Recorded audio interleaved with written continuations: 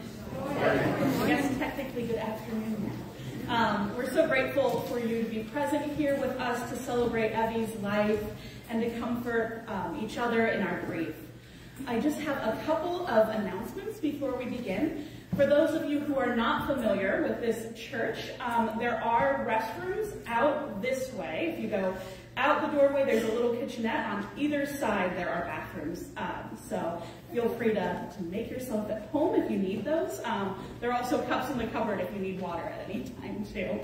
Um, we also are so grateful to have some ways to remember Evie um, as we're walking in. If you haven't taken one already, there are forget-me-not seeds, and also she had a thimble connection, uh, uh, collection. So you are welcome to choose one to take home in memory of her. So please feel free to do that. Um, there are bulletins out in the, uh, on your way in as well. There will be some parts where you'll be asked to participate as you are able. So just follow along. The service will, uh, instructions will all be in there. All right. Please stand as you are able for worship.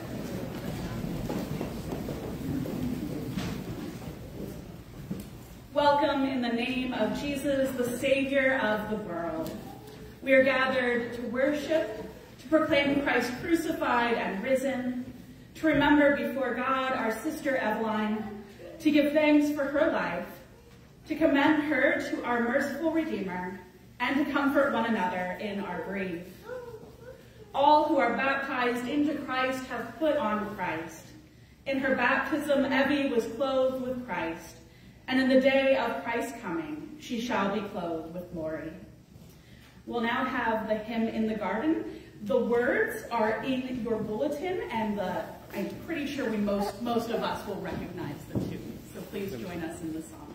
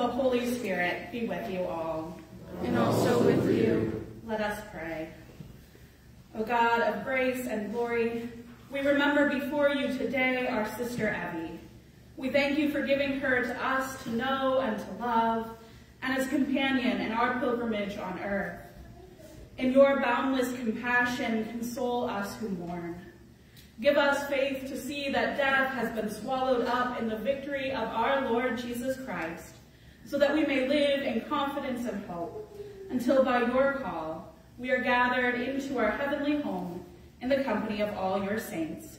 Through Jesus Christ, our Savior and Lord. Amen. Amen. You may be seated.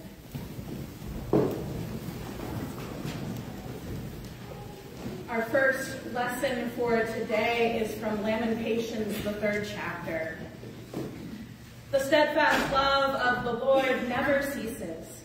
His mercies never come to an end. They are new every morning. Great is your faithfulness. The Lord is my portion, says my soul. Therefore I will hope in him. The Lord is good to those who wait for him to the soul that seeks him. The word of the Lord. Thanks be to God. Our psalm for today is Psalm 23. The Lord is my shepherd, I shall not want. He maketh me to lie down in green pastures. He leadeth me beside the still waters. He restoreth my soul. He leadeth me in the paths of righteousness for his name's sake. Yea, though I walk through the valley of the shadow of death, I will fear no evil, for thou art with me. Thy rod and thy staff, they comfort me. Thou preparest a table before me in the presence of mine enemies. Thou anointest my head with oil, and my cup runneth over. Surely goodness and mercy shall follow me all the days of my life, and I will dwell in the house of the Lord forever. Our second reading for today is from 1 Corinthians, the 13th chapter. Love is patient. Love is kind. Love is not envious or boastful or arrogant or rude. It does not insist on its own way. It is not irritable and it keeps no record of wrongs. It does not rejoice in wrongdoing, but rejoices in the truth. It bears all things, believes all things, hopes all things, endures all things. Love never ends. The word of the Lord. Thanks be to God. At this time, I'd like to invite some family members up to share some reflections on Evie. And then after they're done, we'll open it up to memories from that any of you have. So start thinking through what you want to say.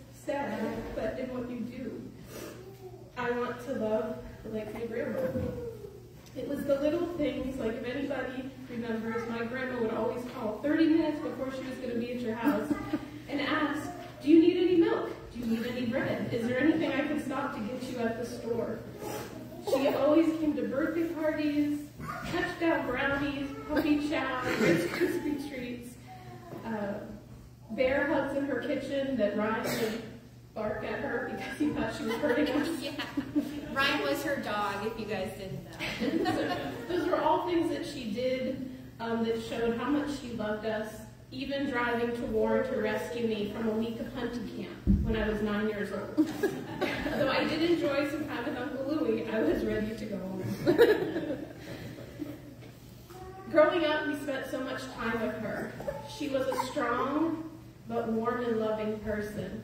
You knew that she loved you unconditionally, no judgment, despite the evidence. She had tragic things happen in her life, but did not allow that to make her bitter or angry she showed great resilience. She took pride in being independent and making her own decisions. Often she would tell us to do what makes you happy and who cares what other people think. She showed us it's okay to express your opinions in a nice way, and she used to always tell us, bite your tongues, bite your tongue, girl. and if you are one of my blood relatives, you know that doesn't come easily to us. so but as us girls, sorry Tommy, um, we grew up watching her, and we were lucky to have such a positive role model in our lives. If there was one thing to never do, it was to tell her she could not do something because she would make it happen. That tenacity, or what she called being stubborn speed, I will always admire. She was such a consistent part of all of our lives, always generous with her time to come visit, call you, go to lunch, or if something was not going well, or you needed something, anything, you just called grandma. Which, when I wrote that sentence, I thought of a time, we were probably about 12, and I was sleeping over with Heather, and I got sick at like 1 in the morning, and I called my grandmother. not my parents, not my aunt who was across the hall, I called grandma, who told me to go drink some pop and go back to bed.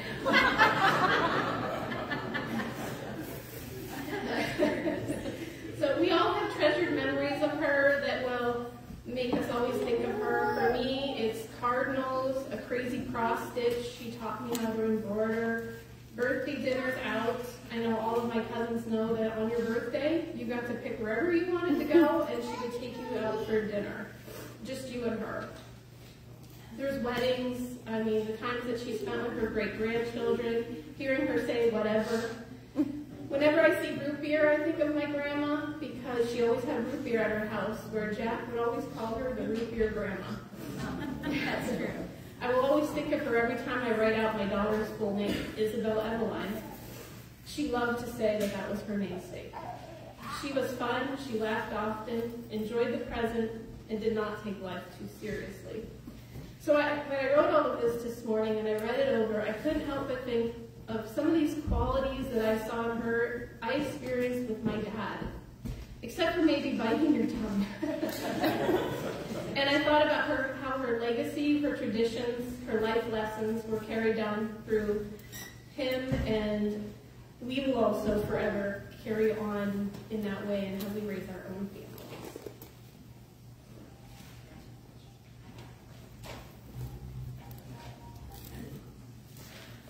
For those of you who may not know who I am, I'm the oldest granddaughter. My brother was the oldest grandchild, so we were the oldest. Um, and I love how prepared my cousin Kim was because I'm probably just going to wing it. I can't wing it. Um, I'm not going to reveal anything that's probably too surprising because anybody that knew my grandmother knew things like she loved chocolate. Um, she was a fierce ally to all of her children and her grandchildren. She loved animals, especially dogs, with the exception of the hunter poodles that lived next door for a time. But her furry grandchildren were the best in her book. And my dog especially, when we said, do you want to go to grandma's house, he would spin and jump and prance, and that's exactly how I would feel when I would go to grandma's house too. Our childhood, my cousins and I, we spent at the kitchen table, at the kids' table. We had cousin sleepovers, and reading to my cousins in that attic bedroom was where my very first best friends were made on the backyard swing and playing jarts in the backyard, which is now illegal. she was an OG original Snoop sister with her sisters, Aunt Mel and Aunt Dot.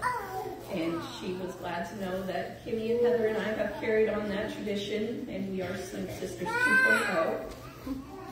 Um, one of the stories I could tell you to exemplify that is that um, she would always get us the same gifts as kids.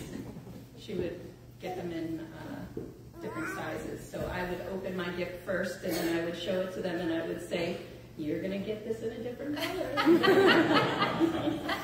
so I would ruin the surprise for my cousins.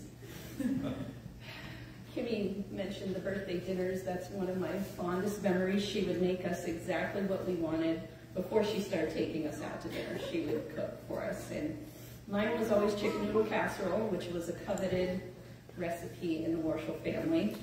I could probably go around the room and name the dishes that she made for everybody. Uncle Tom was boiled dinner. Aunt Nancy was steak salad. My husband was uh, mashed potatoes and hamburger gravy. Kimmy was meatballs and spaghetti and Heather was touchdown brownies. Yeah, and chicken noodle casserole. And Shannon would make sure to call me from Grandma's as she was eating hers to brag. Because that happens. I'm petty like that. We're really like sisters. Yes.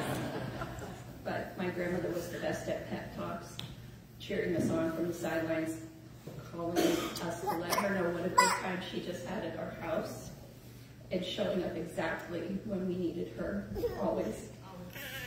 The things that I've inherited from my grandmother are her creative cooking skills, uh, being a stubborn, stubborn Swede, a loyal and fierce love for my family. She lived a long and amazing life and was able to meet her great grandchildren and do the same for them and cheer them on throughout their lives with pep talks, share her chocolate with them, and I'll always be eternally grateful that my kids got to experience the grandmother that I did when I was a kid. Thank you.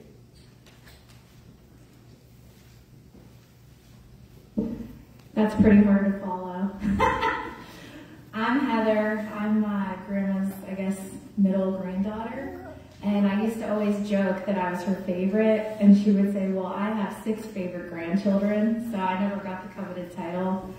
Um, but my grandmother, um, it's kind of hard to even describe her, but one of the things that gives me a lot of comfort is that this is a room full of people, and she she passed away at 95, and look at this army of people who came today because they loved her. And I mean, like, what more is there to say about this woman than the fact that you look around this room and every single person sitting here probably has a funny story or gratitude in their heart for something sweet or wonderful that she did for them. Um, one of my, like, I have so many, I mean, I, I won't tell you a million memories, but I always say anybody who knows me knows my grandma. So if you're like some of my college friends, my friends from town, like all of our friends came to support us because they all knew her too.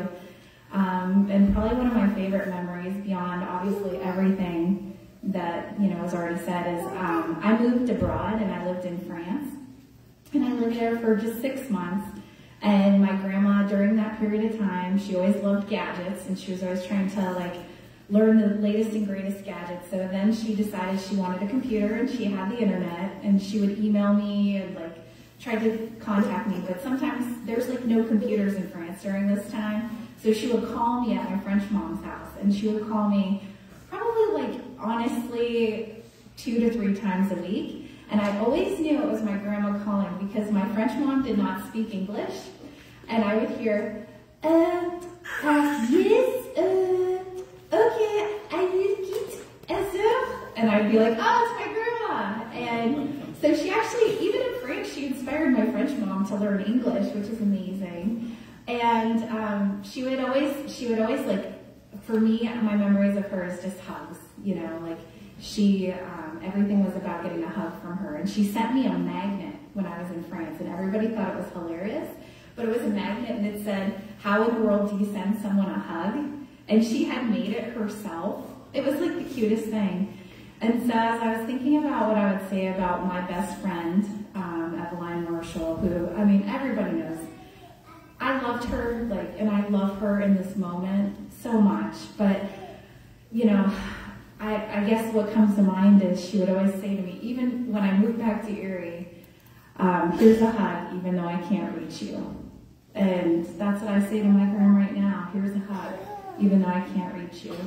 And my boys, Benjamin and Colin, they had the most amazing relationship with her. And even Ben was laughing today. He's like, I better see some amen written somewhere because she would say amen all the time. Um, but I, she was just, she was amazing in every way. Um, and I'm so incredibly grateful to her for, you know, sharing her light and I will tell you all, and this is probably like my last little point because they said everything. But for all of you that loved her, just know that even in her last moments on this earth, she was so happy. I mean, she literally, we, like her whole family, we were with her the whole last week. I mean, everyone in her life was holding her hand and spending time with her. And her last day on life, we listened like to a bunch of music and we all held her hand and she kept going, this is so wonderful. I'm so happy. I have the best family. And that's what she just said over and over and over again. And so I say to my grandma, thank you, because you gave me the most amazing family. And it was you being the glue that just held us all together. And now I have like best friends that I call cousins. And, you know, that all happens at her house. So um, I will love her forever as I know you all will, and she's with us. So that's it.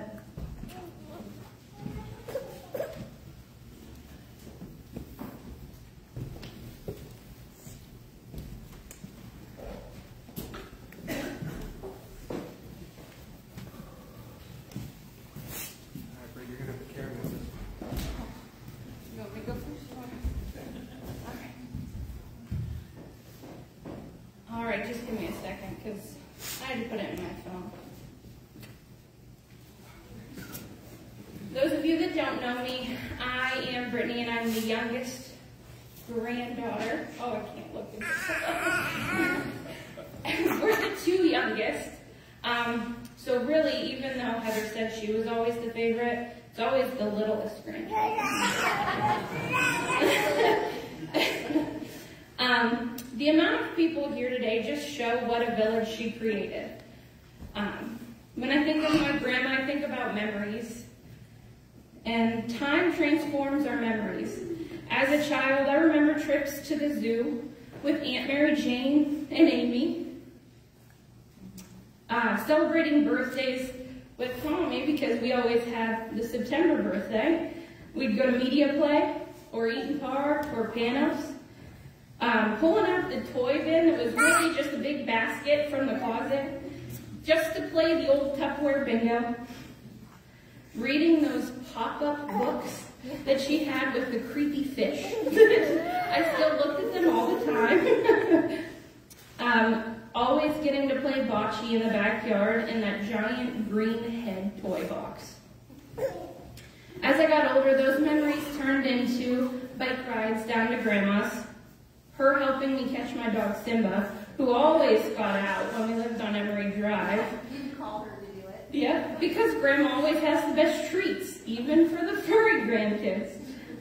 Coming home from college to have a uh, dinner date with her in the living room, which always involved a TV tray, and they're all gonna laugh at me, a swan pizza, a mini root beer, and of course that single serve Tupperware container of Dairy Queen ice cream. which was always followed by a game of Jenga. and as I became a an adult, you were still always there, Graham. My shoulder to cry on, lead the best advice, the nightly phone calls where you always said, is there anything you need? Remember, I'm right up the street, and can I help you with anything you need done? And I would always tell you that I needed help scrubbing the floors with a toothbrush. To which you would reply with one of your three phrases. Whatever. Brittany. Or wrong. Dave and I would tell you we needed you to come hang out and watch some um, TV with us. We'd order dinner and sometimes watch National, National Geographic shows. and as life kept moving at a rapid speed, you were always still there. I can hop in the car and come right down. Is there anything you need from my freezer? what can I send home with you? The countless amount of lean cuisine meals that would end up in my freezer and never get eaten because you could not say no. the truth is, even though she's gone, she's always with us. She's sitting in the backyard, uh, playing with the grandbabies and the pups. As they run and play, she attends every zoo trip, sporting event, holiday concert, graduation, wedding, holiday gathering, and picnics. She'll sit with us while we enjoy her staples, which for me was always peanut butter toast that she put butter on first, mini chocolates, ice cream sandwiches that she made out of cookies, and those mini cans of root beer that everyone's talked about. She'll join in our family game nights and our movie nights, and I will always have a seat at my table for her. Grandma, I promise I'll continue to be the pain that you always told to bite their tongue, and I'll never complain because nobody's going to listen to me anyway. Bye for now.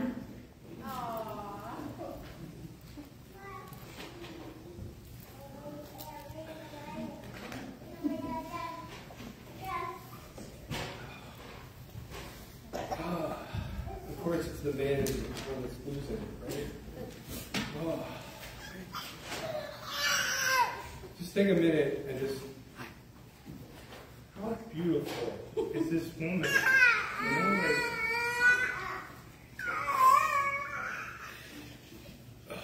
So I had some stuff that I like prepared, and, and uh, I didn't really practice a lot of this stuff. But I kind of like the idea of just like talking, I guess. You know, I like to talk. Um, but I just don't know what is there to say about the greatest person that ever lived in my in my life. You know, like you know, she was everything, every, everything that's good in this world, like wrapped into one one person.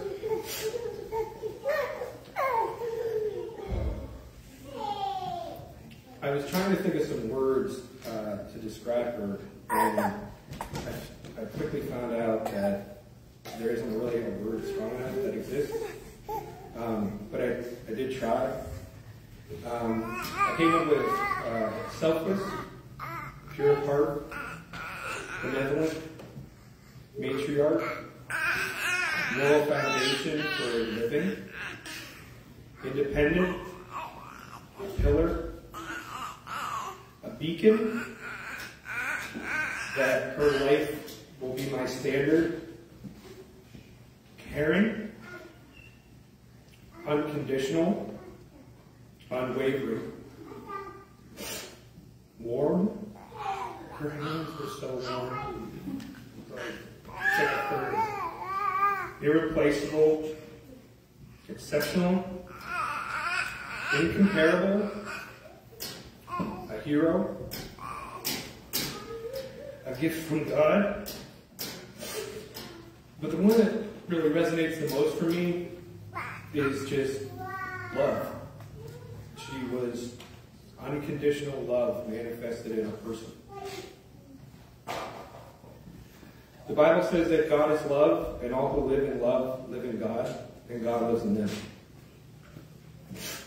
I believe that. I do believe that in God, you know, or in love, you can find God. But one thing that I don't need to believe or have faith in is that my grandmother was the embodiment of love. Like that's real, you know. I don't have to try to believe that because I know it to be true. I think too that in her passing too that I I'm not really like a religious person, but it's more affirmation in heaven because if there was ever a person that I know that could actually make it to heaven, it would be her.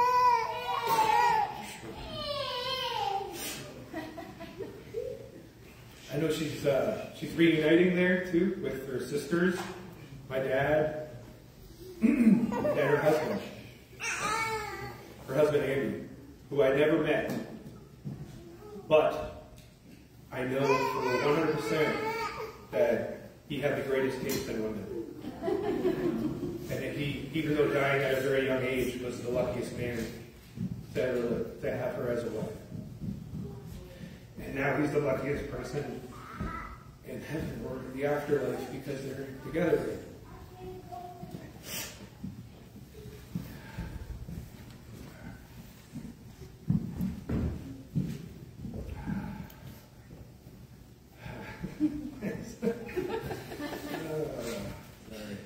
I'm an ugly crier, I know. So, um, so one of my greatest appreciations in my life um, is to be lucky enough to be born into this family, and specifically to have the privilege to have known her and learn just from such a beautiful soul. I know of no better person, and honestly, how truly blessed we are to be a part of, of her legacy and to keep it going. I have other stuff I could talk about, but I just, I just, I will miss her today. I will miss her tomorrow, and I will miss her every day after. But I will always love her more. Amen.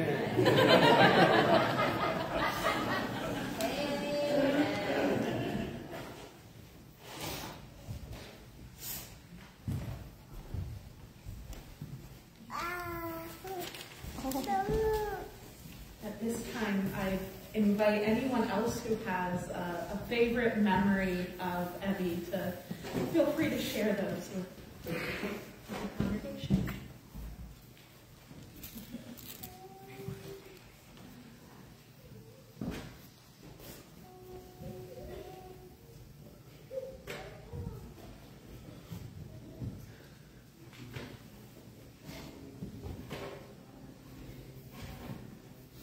I'm also fully aware that it's very emotional today, so it's okay if that's something you want to save for another time as well. So we'll just give a couple more minutes.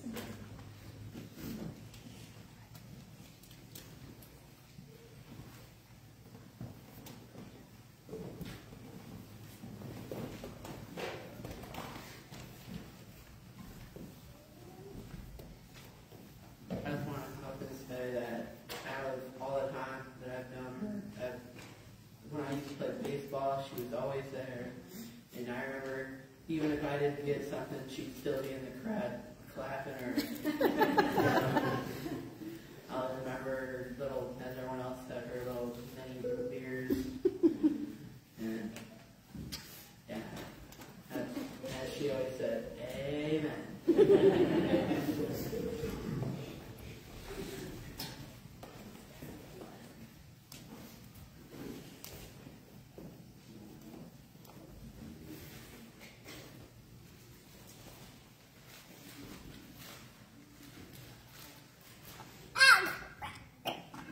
Oh, yeah?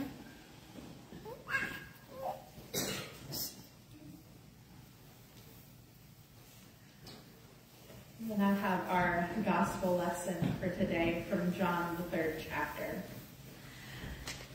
Just as Moses lifted up the serpent in the wilderness, so must the Son of Man be lifted up, that whoever believes in him may have eternal life. For God so loved the world that he gave his only Son, so that everyone who believes in him may not perish, but may have eternal life. Indeed, God did not send the Son into the world to condemn the world, but in order that the world might be saved through him. This is the gospel of the Lord. Praise to you, O Christ. Evie was a wonderful woman. Uh, she had a beautiful laugh and was always so warm and inviting. Almost every Sunday when she was here regularly, I would get a hug from her.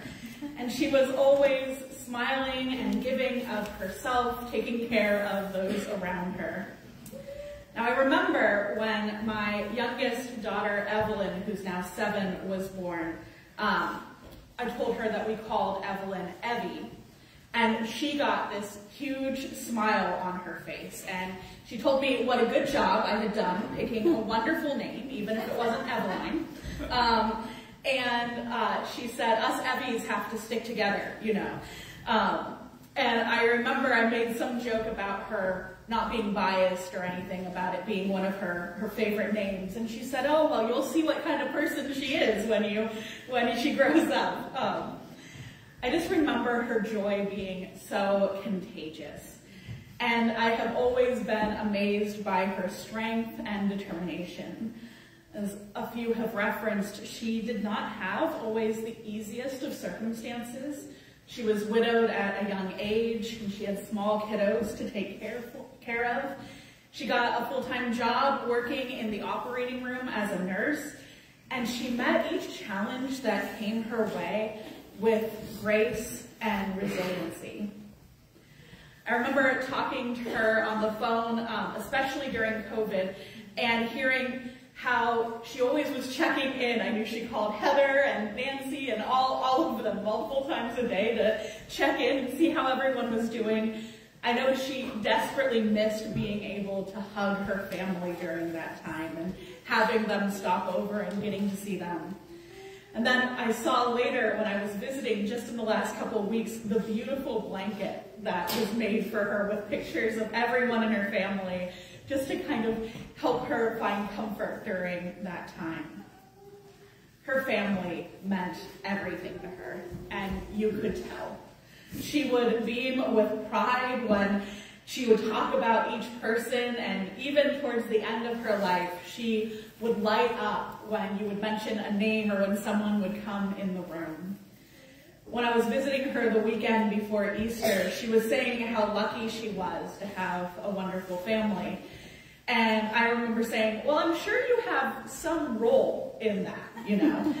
she just kind of shrugged and smiled, you know, in her Evie way. And I said, well, of course you know that, that they have learned so much of this from you. They're kind and generous people because you taught them what that looked like. And that's a legacy of love and joy that Evie has passed on to us. She truly embodied the love that we hear about in 1 Corinthians. And I'm so grateful that even in the midst of her dementia and other health issues, at the end of her life, she was still very much Evie. She was still joking with those around her. I remember coming in and calling her trouble, and she rolled her eyes and uh, pointed at him. Um, I remember her giving hugs and kisses to even the hospice nurse when they came in. And she would just make everyone feel special, even in her last days. I always loved whenever I would say something she agreed with strongly, her amen sentiment. it was lovely and uh, her passing in so many ways brought so much peace, was as good as you can get. I think. And that peace continues to comfort us as I think about the promises that our God made to us in our baptisms. Promises that now Evie is experiencing in its fullness. Our God showed us this great love through Christ, as we hear in our reading from John. And this God showed Evie the same love all throughout her lifetime, walking beside her and guiding her. And we trust that even in her last moments, God was present with her, preparing a place for her, I'm sure with lots of purple and blue decorations, as well as spreading a table with her favorite food in front of her when she arrived. Hopefully some really good ice cream sandwiches. Um, we know that she is whole and healed, fully aware and reunited with all of her loved ones who went before her, including her husband and her son, her grandson, and her siblings. I'm sure at that meeting, she smiled in joy and said aloud, Amen. Now, even as we trust in these promises and are grateful for her peaceful last few days, I will admit that that does not make being in the valley of the shadow of death any easier. Grief is hard. These last few weeks have been really tough, walking Evie home to our God. And while they have been filled with some beautiful moments of family and goodbyes, this loss looms large. She was the matriarch who tied the family together. She was an ever-present example of love in our lives. And she had a way of making you feel cared for and safe when you were with her. The hole that she leaves behind will never be filled. There will be times when you can anticipate the grief that is coming. First holidays or birthdays without her, when you think of picking up the phone to call her or visiting with her. But I know there will also be times when that grief creeps up on you unexpectedly. When you think about a favorite memory, when you're doing something that she taught you or when she would cheer you on about it, when a favorite song of her comes on.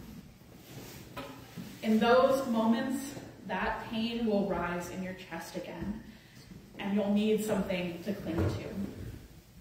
So cling to God, and cling to each other. Cling to the shepherd who walked with Evie throughout her life. Cling to the promises that God made to Evie and has made to us as well. We are never alone. Our God is there with us, comforting us, holding us tightly, and leading us through all of the moments in our lives to come. And remember the love that Evie showed us, a legacy that we are called to carry on, one filled with joy and thanksgiving, encouragement, and kindness. So today we celebrate this amazing, spunky, feisty, at times stubborn, beautiful woman. And we give thanks for all that she was to us. We gather to share our stories and favorite memories, what we learned and the love that we felt being in her presence. And we'll, of course, of course, have moments of tears, because my goodness, what a loss. But we cling tightly to our God, who promises us that this is not the end. We will see Evie again when our time comes. And oh, I cannot wait to hear her yelling another amen when it does. Thanks be to God for this wonderful woman. Amen. Amen. we'll now sing um, hymn number 773 uh, in your red hymnals in front of you. You'll go to the big numbers in the back. Please stand as you're able.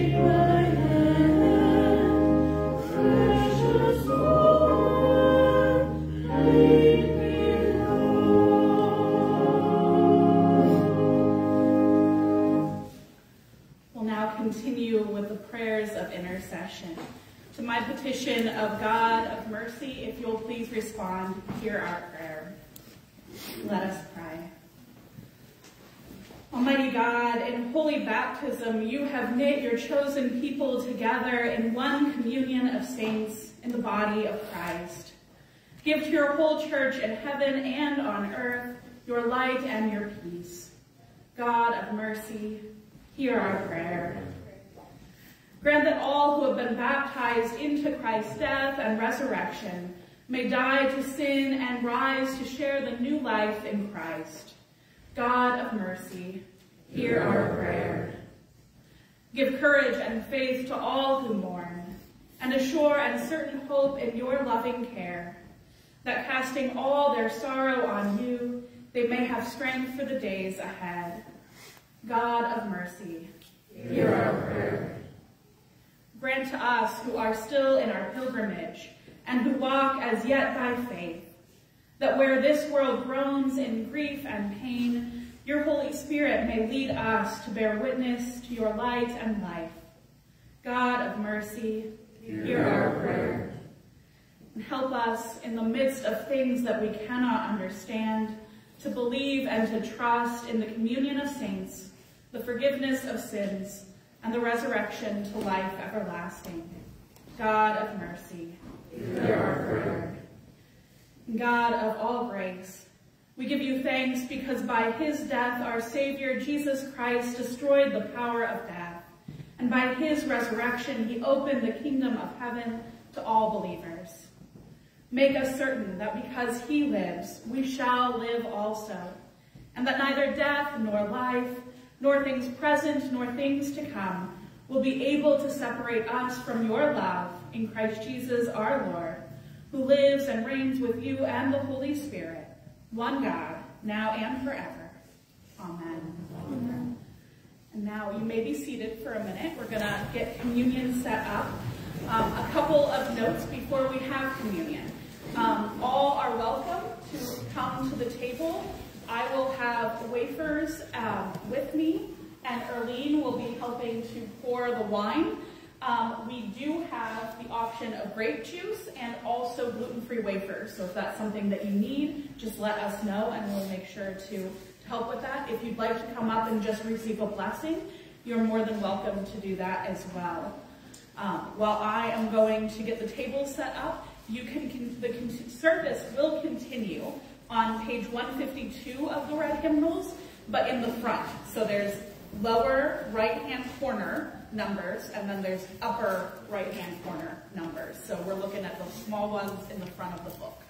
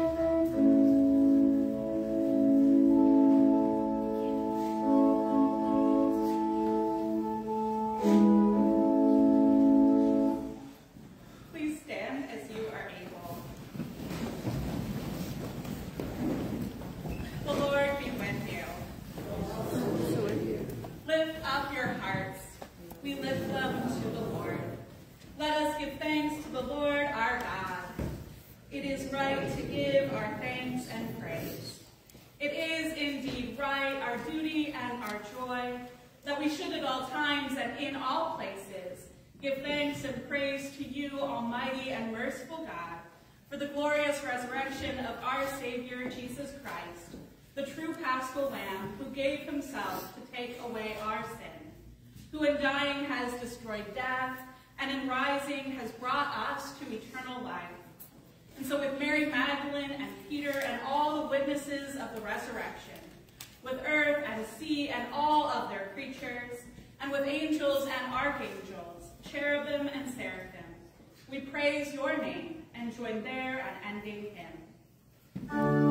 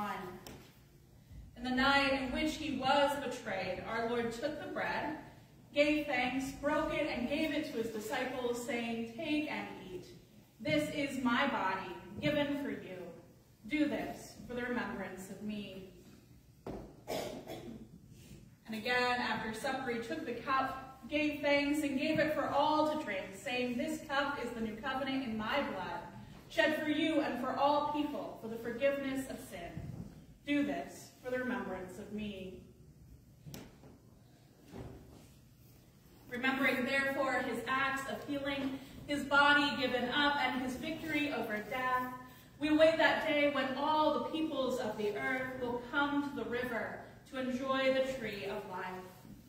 Send your spirit upon us and this meal, as grain scattered on the hillside become one bread, so let your church be gathered from the ends of the earth, that all may be fed with the bread of life, your Son.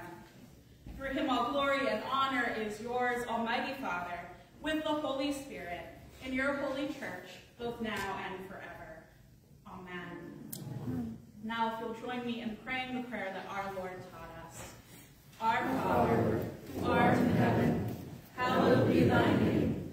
Thy kingdom come, thy will be done, on earth as it is in heaven. Give us this day our daily bread, and forgive us our trespasses, we forgive those who trespass against us. And lead us not into temptation, but deliver us from evil.